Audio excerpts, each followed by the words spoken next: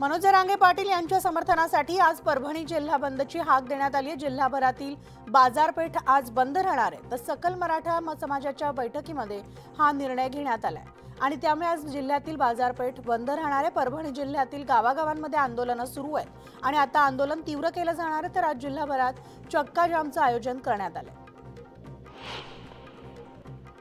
तर मराठा आंदोलनामुळे S T महामंडळाचं कोट्यावधीचं नुकसान झालं. चार दिवसात राज्यातील नव्वदपेक्षा जास्त एस टी बसेसची तोडफोड झाली आहे आणि त्यामुळे आता परिवहन महामंडळाचे चार कोटींचं नुकसान झालं. दरम्यान मराठा आंदोलनाच्या पार्श्वभूमीवर राज्यातील छत्तीस आगार पूर्णपणे बंद ठेवण्यात आली आहे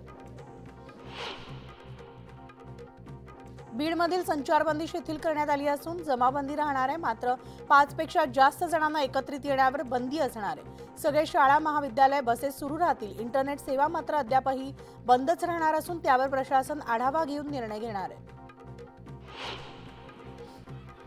धाराशिव मराठा आंदोलनाची धक आजही कायम आहे. धाराशिवमध्ये संचारबंदीनंतर जिल्ह्यात समाजाचं आंदोलन सुरूच आहे. संचारबंदीमध्ये आंदोलन केल्यामुळे दोनशेच्या जवळपास आंदोलकांवर पोलीस प्रशासनानं गुन्हे दाखल केले.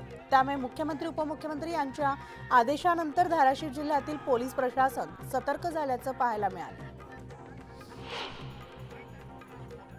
तर रायगडच्या रोहामध्ये सकल मराठा समाज आणि मराठा क्रांती मोर्चाच्या वतीनं साखळी उपोषण करण्यात येत आहे चुलीत गेले मंत्री आणि चुलीत गेले पक्ष.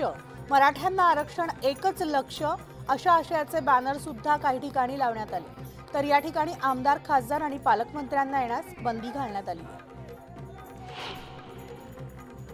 तर मराठा आरक्षणाच्या मागणीसाठी आता मनोज जरांगे पाटील यांनी पुकारलेल्या उपोषणाला राज्यभरातून पाठिंबा मिळतोय जळगाव जिल्ह्यामधील पूर्णाळ फाट्यावर. सकल मराठा समाजाच्या वतीनं साखळी उपोषण सुरू करण्यात आले आरक्षणाचा प्रश्न जोपर्यंत मार्गी लागत नाही तोपर्यंत साखळी उपोषण सुरूच ठेवण्याचा निर्धार मराठा बांधवांनी घेतलाय. भुसावळमध्ये सकल मराठा समाजाच्या वतीनं तहसील कार्यालयासमोर एक दिवसीय धरणं आंदोलन करण्यात आलंय. मनोज पाटील यांना समर्थन म्हणून करण्यात आलेल्या या आंदोलनाला शहरातील विविध राजकीय पक्ष आणि संघटनांनी पाठिंबा दर्शवलाय. मराठा समाजाच्या आरक्षणासाठी सुरू असलेल्या जरांगे पाटलांच्या आंदोलनाला पाठिंबा देण्यासाठी पुण्यातील मार्केट यार्ड बंद असणारे मार्केट यार्ड एक दिवस बंद ठेवून आरक्षण आंदोलनाला पाठिंबा देण्यात येणार आहे. मराठा आरक्षणाच्या मागणीसाठी विविध प्रकारे लक्ष वेधण्यासाठी आंदोलनं केली जात आहेत. अहमदनगर जिल्ह्यातील कोल्हार गावात भव्य कॅन्डल मार्च काढण्यात आला होता आणि या कॅन्डल मार्चमध्ये महिला पुरुषांसह हजारो मराठा बांधव सहभागी झाले होते. भुसावळमध्ये सकल मराठा समाजाच्या वतीनं तहसील कार्यालयासमोर एक दिवसीय धरणं आंदोलन करण्यात आलं.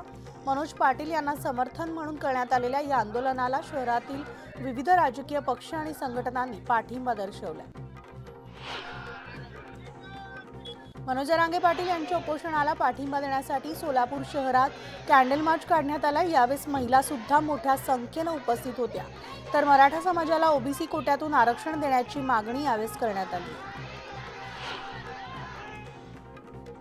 मराठा समाजाच्या आरक्षणासाठी सुरू असलेल्या जरांगे पाटलांच्या आंदोलनाला पाठिंबा देण्यासाठी पुण्यातील मार्केट यार्ड बंद असणार आहे. मार्केट यार्ड एक दिवस बंद ठेवून आरक्षण आंदोलनाला पाठिंबा देण्यात येणार आहे. तर मराठा समाजाला तातडीनं आरक्षण मिळावं या मागणीसाठी मनोज जरांगे पाटील यांच्या आंदोलनाला पाठिंबा दर्शवण्यासाठी तासगावमध्ये मशाल रॅली काढण्यात आली. तासगावमधील एस टी स्टँड चौकापासून या रॅलीला सुरुवात झाली. तर सा- सातारा तालुक्यातल्या जवळवाडी गावात मराठा आरक्षणाची कॅन्डल मार्च या ठिकाणी आरक्षणासाठी काढण्यात आला आणि कॅन्डल मार्चमध्ये ग्रामस्थ मोठ्या संख्येनं सहभागी झाले होते. सरकारनं मराठा समाजाला आरक्षण न दिल्यास आंदोलन तीव्र करण्याचा इशारा देण्यात आला पुणे जिल्ह्यातल्या येलवाडी गावात सकल मराठा समाज आक्रमक झालाय. आरक्षणाच्या मागणीसाठी गावात कॅन्डल मार्च काढण्यात आला. यावेळेस महिलांचा सहभाग लक्षणीय होता.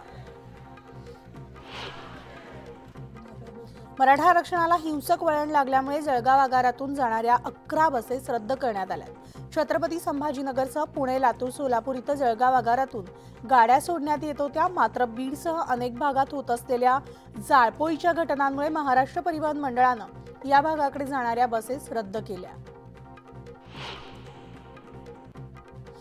परभणी जिल्ह्यामध्ये शांततेच्या मार्गानं सुरू असलेल्या आंदोलनादरम्यान अज्ञात टोळक्यानं पोलिसांच्या गाडीवर दगडफेक केल्याची घटना समोर आली आहे. तर या घटनेमध्ये गाडीचं नुकसान झालेलं असून सुदैवानं कोणीही जखमी झालेलं नाही. मराठा आरक्षणाच्या पार्श्वभूमीवर आज राज्यातील सर्वपक्षीय नेत्यांची बैठक बोलावण्यात आली आहे.